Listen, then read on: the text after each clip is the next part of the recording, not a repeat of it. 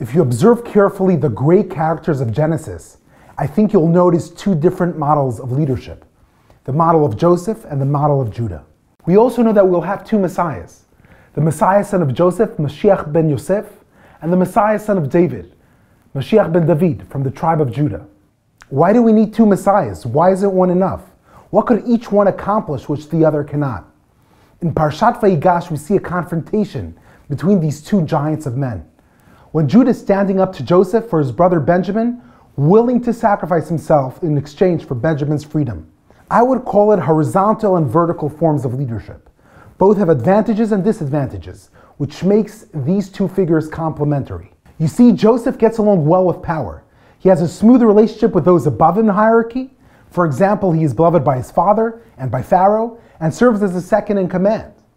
And we see that he gets along with those beneath him as well. Zilpah. He drew the sons of Bilha and Zilpah near, since they were slighted by the other brothers for being sons of handmaids. Joseph creates a vertical chain of command that is structured and obeyed by his subordinates when saving grain for the years of famine. Judah, on the other hand, defies authority. He is not scared to stand up to the viceroy of Egypt if he deems it necessary.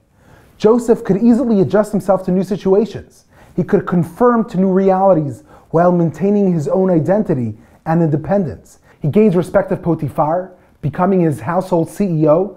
Even in prison, he's appointed to be in charge of all the other inmates.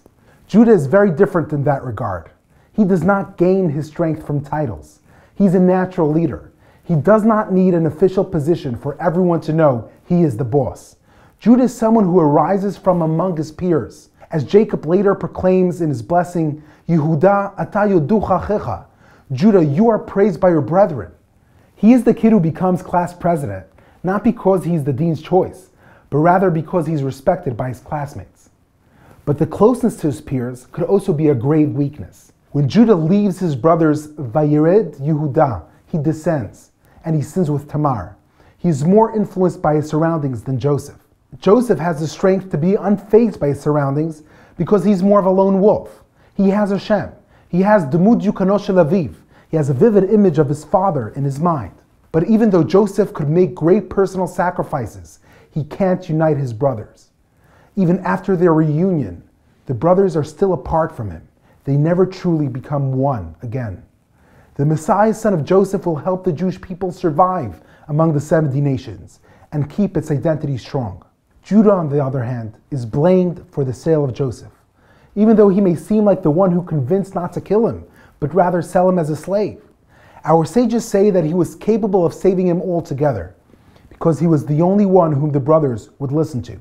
Judah is the leader who could bring the Jewish people together. With all his flaws, he possesses the power to make others follow him. And when Jews will unite, that will be the true redemption of Mashiach ben David.